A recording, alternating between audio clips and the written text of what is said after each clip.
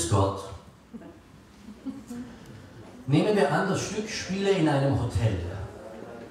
Eine Hotelsuite mit Aufenthaltsraum, Couch, Tisch, Lampen, Bilder, zwei große Doppelbetten, ein Schreibtisch.